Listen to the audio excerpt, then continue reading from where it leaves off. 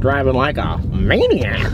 Today, Burger King just recently launched their brand new King sandwich. It's a pulled pork sandwich. Ooh. At Burger King. I'm excited for a pulled pork sandwich at Burger King. Are you? Oh, bro. Yes. So we're taking the car to a parking lot near a Burger King. Some might say we're outside the Burger King entrance, and we're gonna get one. Let's do it.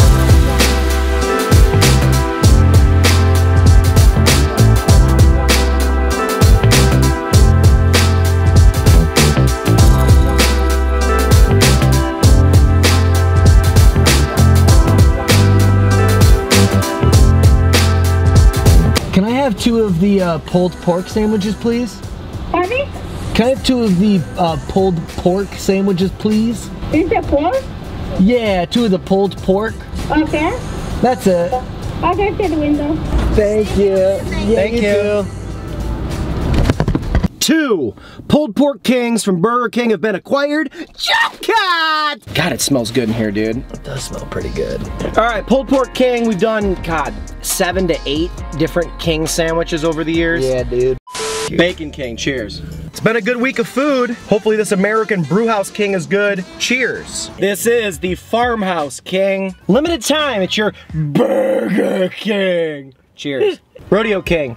Boom. Cheers. All right, Burger King's take on a Philly. This is the Philly Cheesesteak King on sourdough. Cheers. Cheers. A lot of kings, a lot of kings. This is a Corey Wagner second angle. All right. Whoa, this is gonna be a messy They're beast. always so monstrous. I know. Look at the pork porking porking through the outside. Right. All right, let's open. Holy smokes. This one looks a little less. Well, I'll, let's, let's open this one up. I'll save that one for you since that'll be a little neater. Like the branding, very uh, 4th of July prepared, you know, I love it. I'm sure that was their branding for that. And then if we open it up, boom. Wow. Big old bun, sesame seed. Uh, ooh, I didn't know it had crunchy onions on it. Neither did I. That's awesome. And then it looks like a good amount of pulled pork. Smells pretty good. The sauce is all on there. I mean, now it's just up to the taste buds, kind of. Plus some pickles, you know, plus pickles. So this is like really, really new for Burger King because they didn't just repurpose something.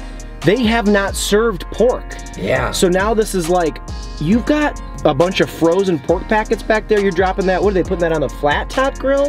Or is that just going in their little like, uh, super fast like? Quick heater. Yeah. Yeah, I don't know. All right, pulled pork king, Burger King. Cheers. Cheers. Okay. That's pretty good pulled pork. Hell yeah. Yeah, this is really good. It's almost like sloppy Joe-ish. Mm-hmm. Like the flavor profile, which I'm a fan of. I like sloppy Joe. Yeah. I was a little worried about how the flavor and sauce were gonna be, Me too. but they came through. It's not the best sauce I've ever had, but it's like, it's it's. It, I I wouldn't be able to differentiate this sauce from at any random Memorial Day cookout that I'd go That's to. a perfect way to put it. Actually, this is a cute story. We met on a golf course in Scotland when we were. Get off the shit!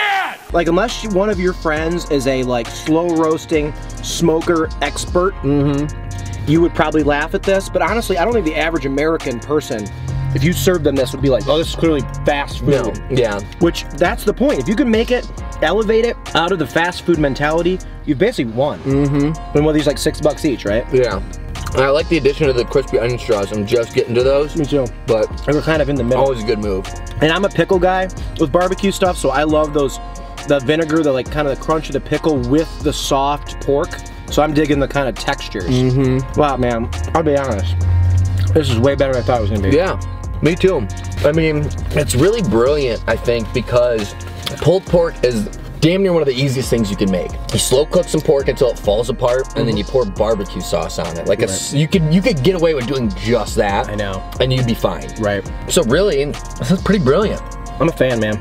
Before we go any further, I want to give a quick shout out outside of everything else we do. On Twitter, I recently tweeted from the number six with cheese account. Does anybody remember what episode it was where somebody tried to buy or sell us acid? Oh, we got a gentleman. What's up? I don't, dude. Wait, what's up? He wants acid. Oh no, sorry, I got none, brother. Sorry, man.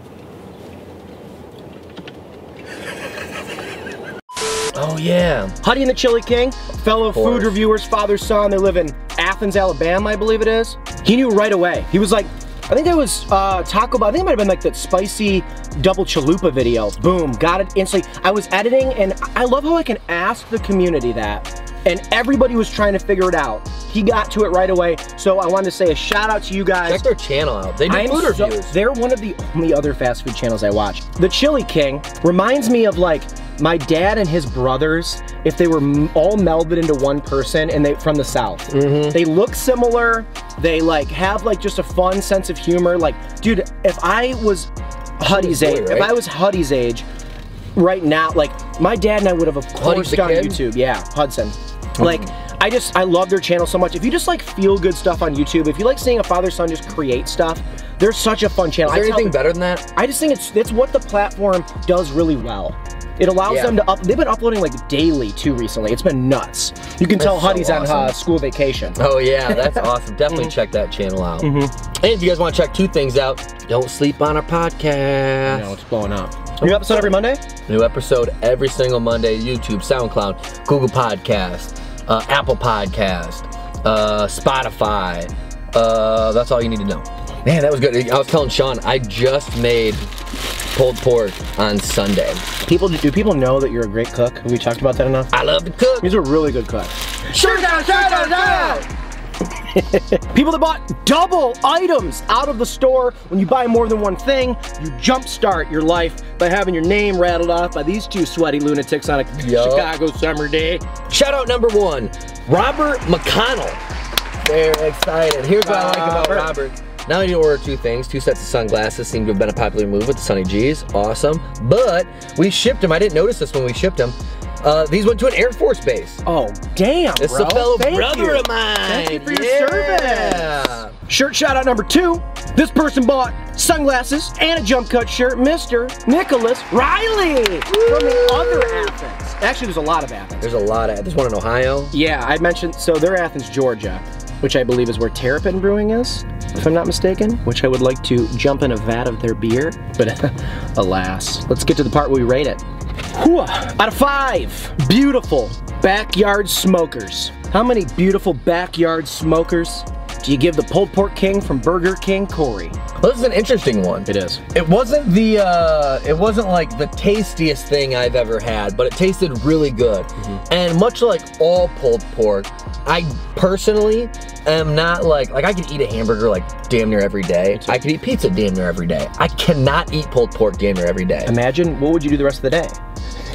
Take naps. Right. Well, I mean, same thing can be applied with hamburgers and pizza though. That's true. So it's not really the fact that I feel fat and lazy after it. It's just that my uh, pulled pork. That's just one of those few items that like I when I'm in the mood for it, I really want it, but I'm not in the mood for it every day. Right? Good point. So that being said, um, they really did hit it out of the mark. I'm, there's no pulled pork that's usually really gonna blow me away, but I will say this: you guys know this.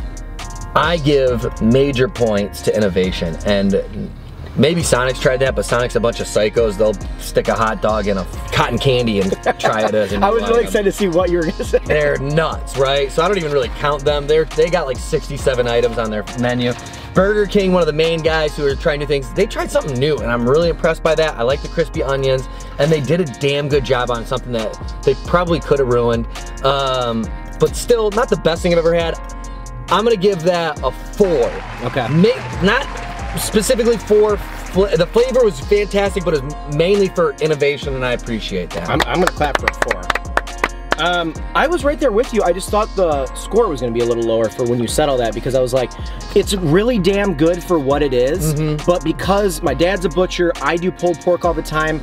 I'm kind of a snob when it comes to barbecue a little bit. Like it's one of the only things I feel like I'm kind of like, man, I would never get that again. Like for this situation, oh my god, that was great. I will never walk into a Burger King for the rest of summer and ever get that again right.